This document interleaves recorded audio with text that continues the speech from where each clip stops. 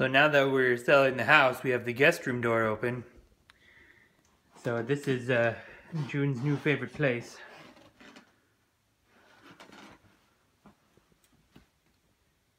What do you think, June?